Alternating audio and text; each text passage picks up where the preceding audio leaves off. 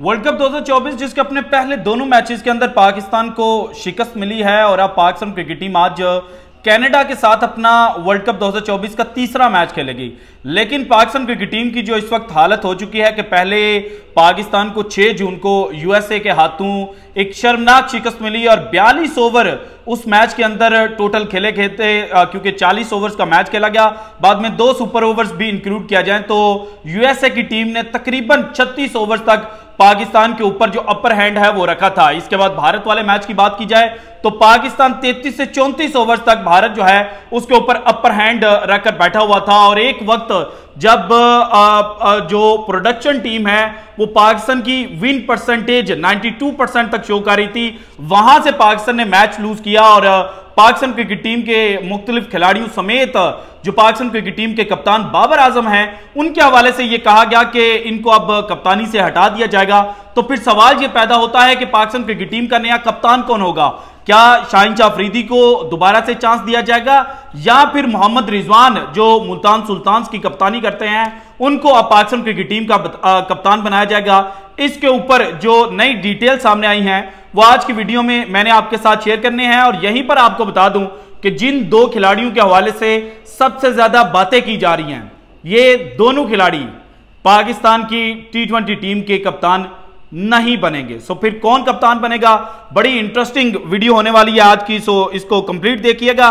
इसके बाद, जनाब कौन कौन सा खिलाड़ी जो है, वो पाकिस्तान क्रिकेट टीम से छुट्टी लेने वाला है? क्योंकि इन्होंने काम कुछ ऐसे किया है ना पाकिस्तान क्रिकेट टीम तो चाहती थी कि इनके साथ चला जाए, लेकिन इन्होंने कहा कि नहीं भाई, हमें माफ़ कर दें। हम पाकिस्तान को अब मजीद रिप्रेजेंट नहीं कर सकते।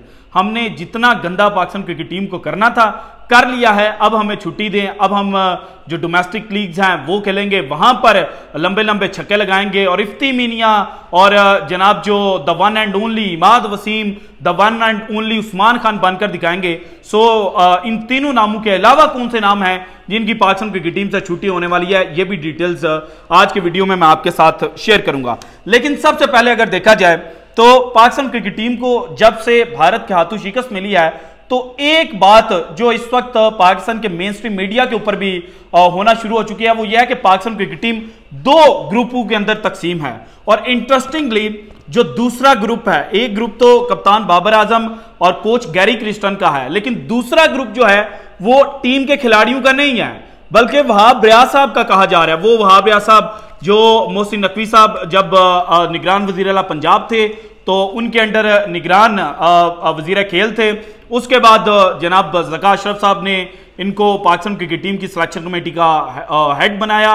लेकिन जका अशरफ साहब और टीम डायरेक्टर मोहम्मद हफीज़ घर चले गए, लेकिन जो वहाब रियाज हैं, वो पाकिस्तान क्रिकेट टीम की जो सिलेक्शन कमेटी का पैनल बनाया गया था, जिसमें मोहम्मद यूसुफ फसद शफीक और अब्दुल रजाक वगैरह शामिल थे उनमें जनाब ये शामिल हो गए, और इसके बाद इनको सीनियर टीम मैनेजर भी बना दिया गया। तो अब जो चीज़ें सामने आ रही हैं यूएसए से, उनके मुताबिक वहाब रियाज जो हैं, वो जनाब इस वक्त दूसरे ग्रुप को लीड करें और दूसरे ग्रुप के अंदर इमाद वसीम मोहम्मद आमिर और आ, आ, कुछ और फास्ट बॉलर जो हैं उनका नाम लिया जा रहा है। सो ये दो ग्रुप्स हैं जिनके हवाले से जो नुकताचीनी है वो की जा रही है। इसके बाद पाकिस्तान क्रिकेट टीम का कप्तान कौन होगा? सबसे पहले अगर बाबर आज़म की बात की जाए तो बाबर आज़म पिछले छह इवेंट्स के अंदर पाकिस्तान क्रिकेट टीम की कप्तानी कर रहे हैं और अनफॉर्चुनेटली या बदकिस्मती या पाकिस्तान क्रिकेट टीम की खुशकिस्मती के इतने बड़े खिलाड़ी होने के बावजूद बाबर आज़म जो हैं वो पाकिस्तान को पिछले छः इवेंट्स में क्योंकि छठा तो अभी चल रहा है, पिछले पाँच इवेंट्स की अगर बात की जाए तो उनमें चैंपियन का जो टैग है, वो नहीं लगवा पाए। और अब वर्ल्ड कप 2024 में पाकिस्तान क्रिकेट टीम को जिस तरह से पहली दो शिकस्तें मिली हैं तो अब बाबर आज़म जो हैं, उनसे कप्तानी छीन ली जाएगी। इसके बाद फिर पाकिस्तान टीम का कप्तान कौन होगा? ये सबसे बड़ा सवाल है, और इसमें जो पहला नाम लिया जा रहा था, वो था शाहिन शाह अफरीदी का, कि इन्होंने पाकिस्तान सुपर लीग के अंदर लाहौर कलंदर्स की कप्तानी की। और बड़ी शानदार कप्तानी की थी। दो दफ़ा टाइटल जितवाया इस दफ़ा सुपर आ, आ, जो फोर राउंड था वहाँ तक तो नहीं पहुँचा पाए लेकिन फिर भी आ, इनको जनाब जो कप्तानी है वो वापस देने की बातें की जा रही थी। लेकिन अब ये चीज़ सामने आई है कि पाकिस्तान क्रिकेट टीम के अंदर इस वक्त जो कुछ भी चल रहा है ना इसमें जो ग्रुपिंग हुई है उस ग्रुप में एक साइड पे बाबर आज़म है तो दूसरे ग्रुप के अंदर शाहिन शाह भी हैं। तो इसलिए इनको भी जो कप्तानी है वो नहीं दी जाएगी। इसके बाद जो मोहम्मद रिजवान का नाम था कि इन्होंने मुल्तान सुल्तान की बड़ी अच्छी कप्तानी की है उनको हर दफ़ा ये जनाब फाइनल के अंदर लेकर जाते हैं। बा, बाद में फाइनल के अंदर जो लास्ट हडल है वो क्रॉस नहीं करवा पाते। लेकिन आ, इनको जनाब एक क्लियर माइंड वाला और एक बड़ा खिलाड़ी माना जाता है। लेकिन अब पाकिस्तान क्रिकेट टीम को जो दो नाकामियाँ मिली हैं। पहला मैच जो पाकिस्तान यूएसए के खिलाफ हारा उस मैच के अंदर जो मोहम्मद रिजवान है, उनका कैच तो स्टीवन टेलर ने अच्छा पकड़ लिया था स्लिप कॉरिडोर के अंदर। लेकिन फिर मैच के अंदर जो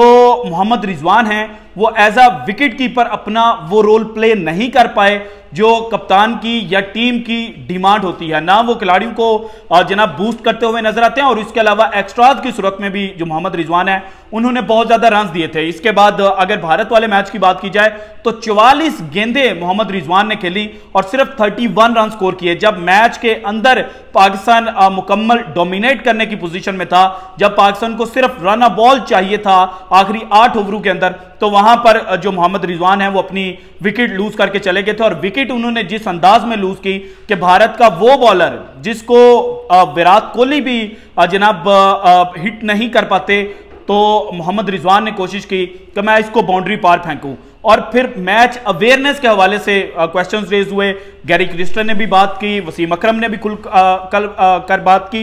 और इसके अलावा इसी मैच के अंदर जब पाकिस्तान ओवर कर रहा था और शाहिन शाह अफरीदी का वो ओवर था जिसके अंदर भारत की आखिरी विकेट गिरी थी। उसी ओवर के अंदर शाहिन शाह अफरीदी मोहम्मद सिराज को बॉल करते हैं। और सिराज जो हैं, वो उनको पीछे की जानब, चौका लगाने की कोशिश करते हैं, लेकिन वो बॉल जो है, वो कनेक्ट नहीं हो पाती। मोहम्मद रिजवान बड़े एक्साइटेड होते हैं, शाहिन शाफरीदी एक्साइटेड होते हैं, और दोनों जनाब कहते हैं कि ये विकेट जो है, वो हमने हासिल कर लिया लेकिन दूसरे एंड पर जो पाकिस्तान क्रिकेट टीम के कप्तान बाबर आज़म थे, वो इनकी जानब देख रहे होते हैं कि, भाई, मुझे भी तो बताओ, क्योंकि अंपायर ने आउट नहीं दिया था तो आप मुझे कंसल्ट करेंगे, मुझे बताएँगे कि मैंने क्या करना है, अगर आपको एज सुनाई दी है, क्योंकि मैं जिस पोजिशन पे था, मुझे तो क्लियरली वो एज जो है, वो सुनाई नहीं दी तो आपने मुझे बताना है लेकिन वहाँ पर जो मोहम्मद रिजवान है उन्होंने कप्तान को कुछ नहीं बताया था और फिर कप्तान का इशारा आपने देखा होगा जिसमें वो थोड़े से गुस्से वाले अंदाज में मोहम्मद रिजवान को आ, कुछ कह रहे थे। सो इस वजह से मोहम्मद रिजवान के ऊपर भी अब जो जनाब शक है वो किया जा रहा है कि ये भी उसी ग्रुप का हिस्सा है जो बाबर आज़म को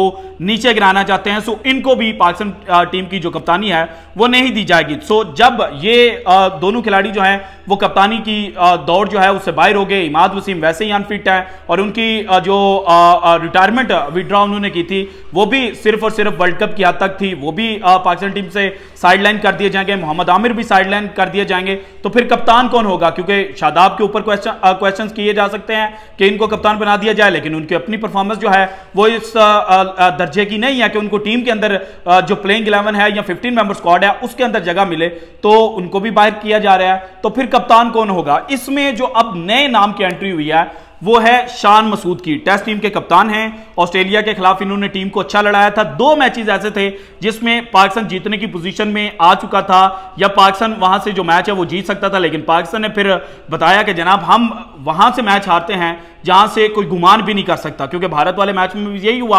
और ऑस्ट्रेलिया में जब पाकिस्तान ने सीरीज़ खेली, पाकिस्तान 28 साल के बाद टेस्ट मैच जो है वो ऑस्ट्रेलिया में जीतने जा रहा था। लेकिन फिर पाकिस्तान ने वो दोनों मैचेस जो हैं वो जनाब इजी लिए और जीत जो है वो ऑस्ट्रेलिया को मिली। तो शान मसूद के हवाले से ये कहा जा रहा है कि वर्ल्ड कप 2022 में जब पाकिस्तान क्रिकेट टीम का मिडल ऑर्डर में शान मसूद मौजूद थे तो शान मसूद जब विकेट गिरती थी तो दूसरे एंड को संभाल कर रखते थे और स्ट्राइक रोटेशन करते थे। और अगर यूएसए में भी शान मसूद प्रेजेंट होते और वहाँ पर पाकिस्तान टीम का हिस्सा होते तो वो बेहतरीन गेम अवेयरनेस के साथ पाकिस्तान को जितवा देते। और पाकिस्तान सुपर लीग में भी इनकी कप्तानी में मुल्तान सुल्तान जो है, उन्होंने अच्छा किया था। सो इसलिए इनको बेहतर क्रिकेटिंग माइंड होने की वजह से पाकिस्तान क्रिकेट टीम का कप्तान अपॉइंट किया जा सकता है। अब इनको फॉरन कप्तान अपॉइंट किया जाता है वर्ल्ड कप के, या फिर जब पाकिस्तान नवंबर में ऑस्ट्रेलिया के खिलाफ तीन टी ट्वेंटी मैचेस खेलने जाएगा, तब अपॉइंट किया जाएगा। ये देखने वाली बात है। और इसके अलावा एक खबर ये भी आई है कि पाकिस्तान क्रिकेट टीम के अंदर जो तब्दीलियाँ की जाएँगी, उसमें उस्मान खान किक आउट किए जाएँगे। मोहम्मद रिजवान को भी जनाब घर भेज दिया जाएगा टी ट्वेंटी क्रिकेट की हद तक। उसके बाद शादाब खान, इमाद वसीम, मोहम्मद आमिर इफ्तार अहमद, आज़म खान, ये वो खिलाड़ी हैं जो पाकिस्तान टीम से जनाब साइडलाइन कर दिए जाएँगे और कप्तान और कोच की जो रिपोर्ट होगी, उसको भी जो जनाब चेयरमैन पीसीबी मोहसिन नकवी साहब हैं, वो बहुत ज़्यादा इंपॉर्टेंस देंगे और इसके अलावा वहाब ब्याज साहब, जो इस वक्त सीनियर मैनेजर के तौर पर पाकिस्तान क्रिकेट टीम के साथ हैं, उनके हवाले से भी सोर्सेज ये बता रहे हैं कि उनको भी टीम से साइडलाइन कर दिया जाएगा। So this is it from today's episode अगर आपको वीडियो पसंद है तो लाइक कीजिएगा, ज़्यादा से ज़्यादा शेयर कीजिएगा, अपनी कीमती राय का इजहार लाजमी कीजिएगा। और अगर आपने अभी तक चैनल को सब्सक्राइब नहीं किया तो कर दें। शुक्रिया, अल्लाह हाफिज़।